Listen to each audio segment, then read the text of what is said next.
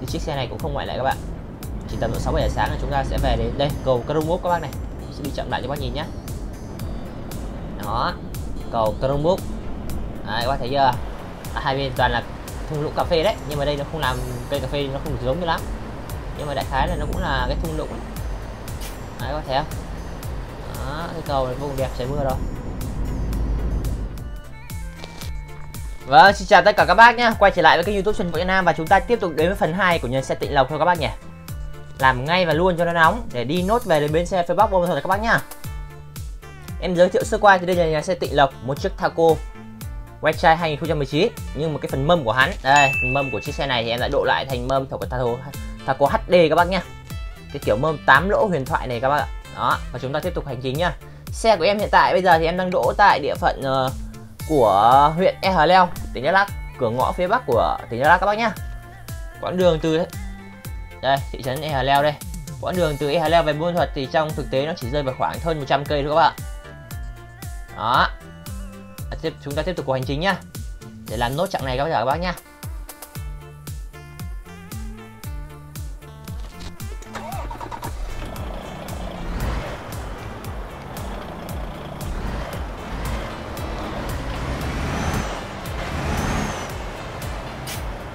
Giờ đang là 5 giờ 21 phút sáng bác nhá.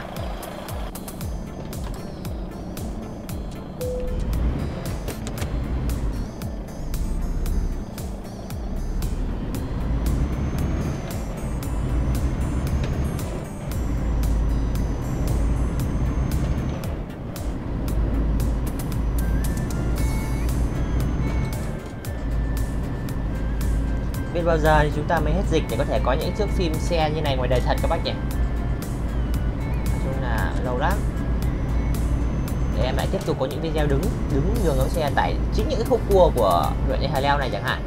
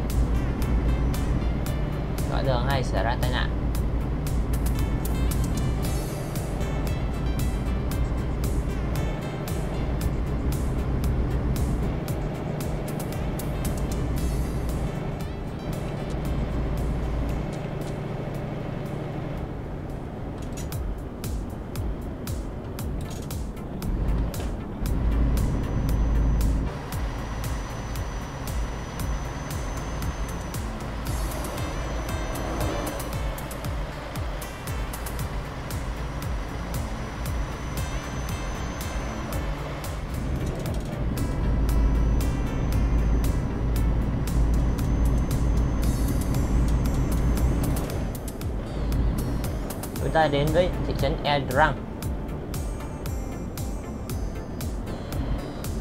thị trấn Edrang là của huyện Eleo tiếp theo là chúng ta đến với huyện Cronbuk huyện Cronbuk thì chúng ta sẽ có thị trấn Pendrang đó.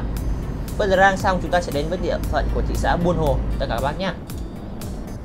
nói chung là địa phận đó lắc thì em đi cũng nhiều nên em vẫn nhớ mà.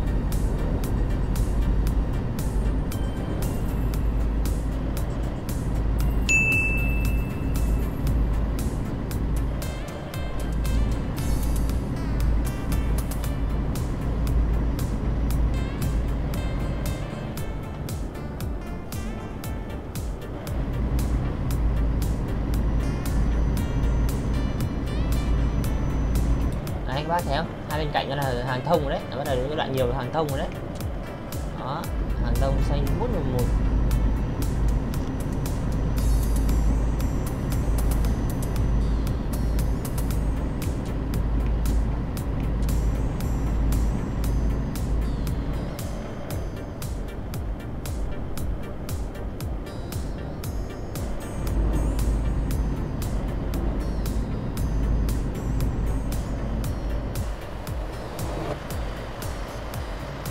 lái cái kiểu camera nhìn kiểu này em khó căn đường lắm.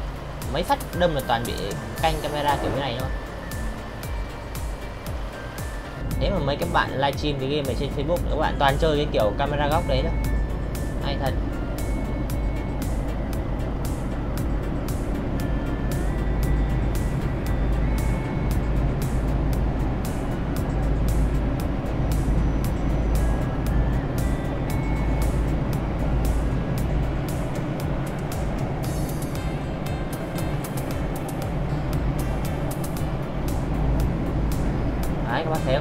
Đẹp chưa? Đẹp quá luôn đấy đường tây nguyên đấy các bạn ạ.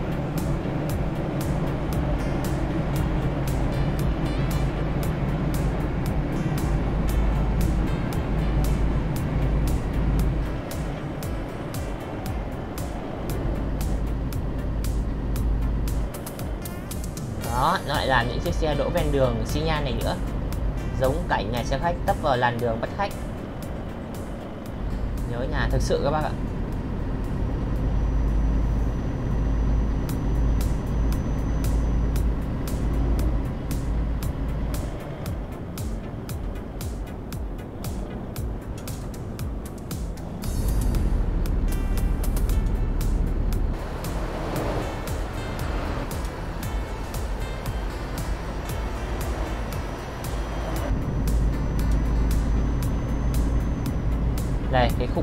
giống như cái mấy cái góc mà em hay bắn. Này, các bác nhìn thấy cái kiểu cua như này này. Đấy, em hay bắn ở những góc như này đó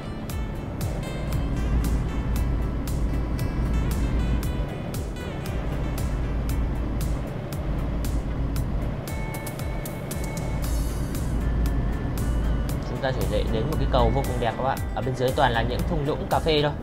Cái cầu đấy có tên là cầu Crongbuk qua cầu đấy chúng ta sẽ đến với thị trấn Quân Rang các bạn.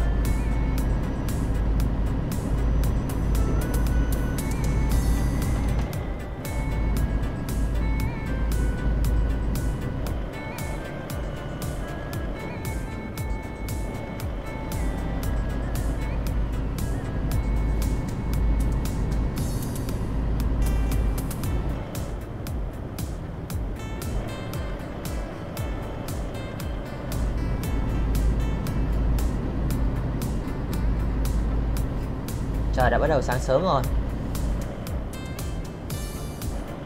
Đúng là đi xe khách chừng nằm, ấy thường là những cái buổi nó hay đi đêm thế nên là khi mà chúng ta gần đến đích ấy, ví dụ em đi từ Bắc Giang và Đắk Lắk thì cái tầm sáng sớm này nó cũng hay đến tầm này. Nó cũng đến tầm ngoài huyện uh, E Hà Leo hoặc uh, Cơ Đông Bốc này. À, chỉ tầm độ 6 giờ sáng 7 giờ sáng là chúng ta sẽ vào đến huyện trả Khách thôi. Thì chiếc xe này cũng không ngoại lệ các bạn. Chỉ tầm độ 6 7 giờ sáng là chúng ta sẽ về đến đây cầu Cơ Đông Bốc các bác này. Sẽ đi chậm lại cho bác nhìn nhé đó cầu Cơ Đông Đấy, các bác thấy chưa? À, hai bên toàn là thung lũng cà phê đấy nhưng mà đây nó không làm cây cà phê nó không giống như lắm. Nhưng mà đại khái là nó cũng là cái thung lũng đấy, đấy các bác thấy không? Đó, cái cầu này vô cùng đẹp trời mưa rồi.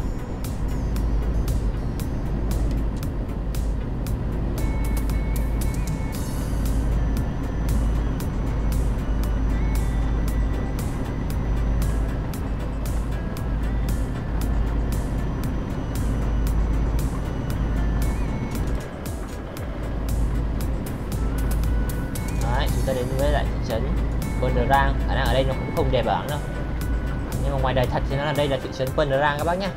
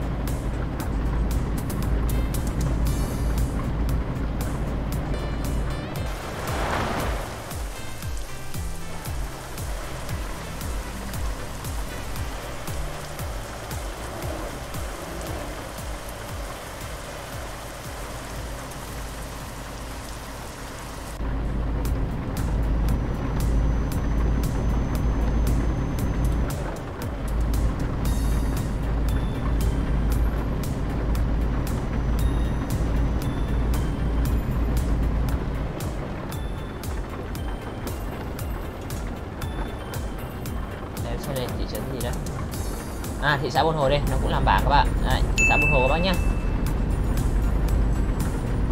Để đến thị xã buôn hồ này cái đường rẽ có sẽ có một cái đường ngã ba lớn đầu tiên nên là cái ngã ba rẽ vào huyện crong năng của em đấy ạ. Nhưng mà đây thì khả năng nó không làm rồi.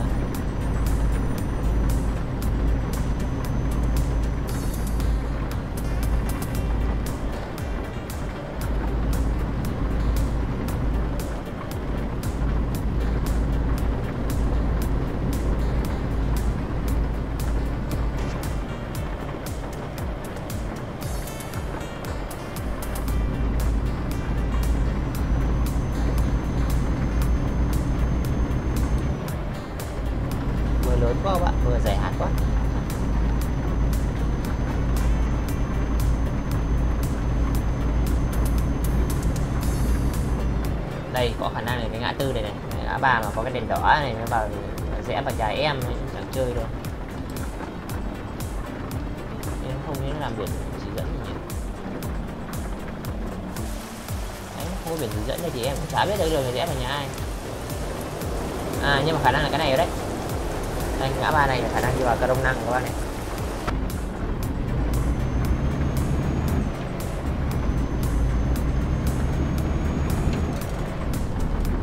Đấy, nếu mà xe bắc giang, đắk lắc nhà em là sẽ rẽ trái vào chỗ đấy đấy. Nhưng mà vì xe này là về đến phía bắc buôn thuận nên chúng ta sẽ cố gắng. Đi thêm một đoạn nữa các bác nhé, sắp xong rồi. Một lát nữa chúng ta sẽ đến một cái trạm thu phí nữa, sau đó là vào đến đèo Hà Lan.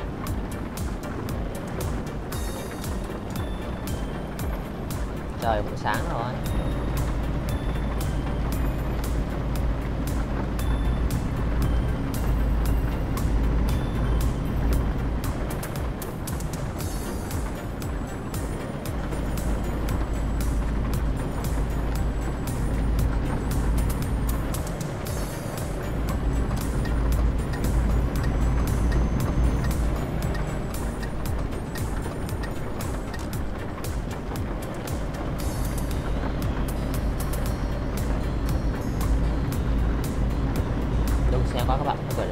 Sau chấp nhận đi sau chiếc xe tải nữa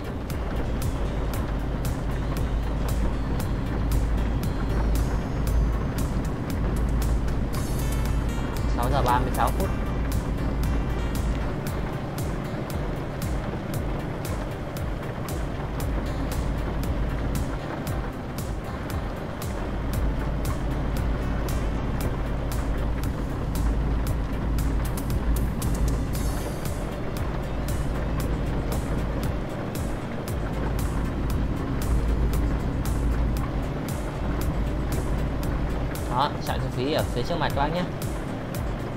Sau cái trạm thu phí này à, chúng ta sẽ đến với đèo Hà Lan này. Em cũng đã làm mấy cái video. Quay xe khách ở đèo Hà Lan rồi các bác nhá.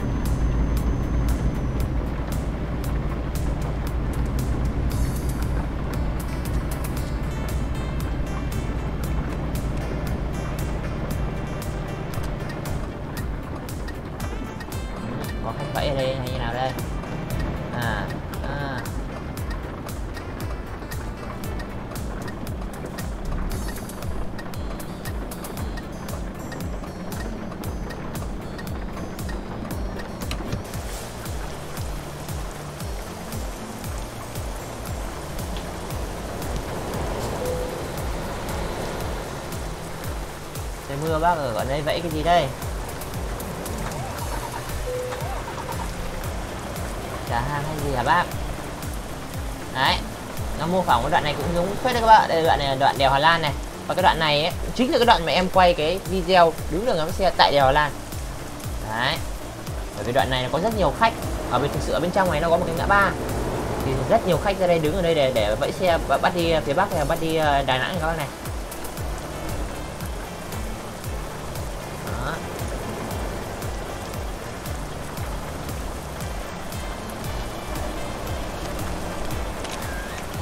Rồi chúng ta tiếp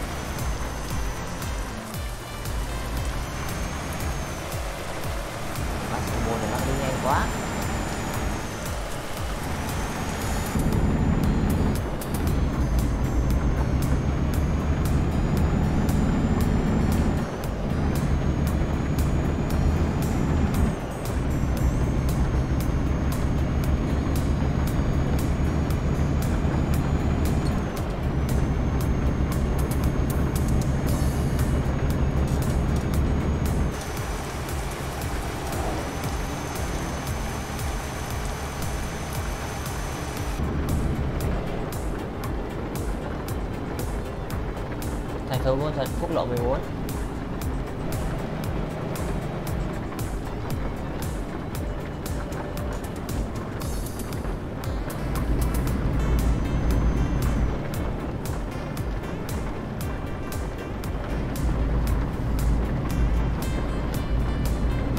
Rồi, chúng ta nhận được đôi này là khả năng chúng ta sắp vào đến nha thành phố đấy các bạn. Thì tại phía bắc thì phố Buôn chúng ta sẽ có một cái uh, bùng binh, nếu mà chúng ta rẽ phải thì sẽ là đường tránh phía tây thành phố Buôn Thuật các bác nhá. Còn nếu chúng ta đây, nếu mà chúng ta đi thẳng là sẽ à, vào đến bến xe phía bắc. Những xe nào mà đi Sài Gòn thì chúng ta sẽ rẽ phải các bác kìa. Đấy. Nhưng ngày hôm nay xe này không đi Sài Gòn nên em sẽ đi thẳng các bác nhé. Chúng ta sẽ đi thẳng để vào bến xe à, phía bắc. Và đấy chúng ta sẽ dừng tài và cho khách uh, xuống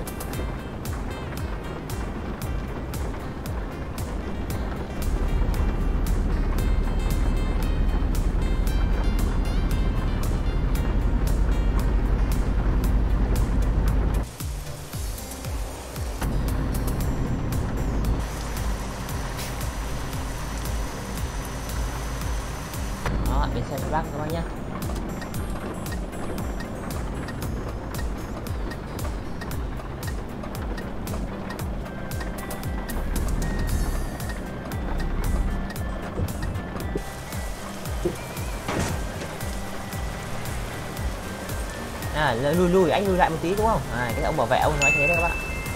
Rồi rồi rồi rồi. Đấy nó bảo là anh lùi lại một tí. Rồi rồi bẻ lái. Đấy ông bảo thế thôi nhá. Rồi cảm ơn bác đã hướng dẫn cho em. Em lái non cho nên là em không biết thôi chứ còn em lái già thì em đâm phát ra luôn rồi.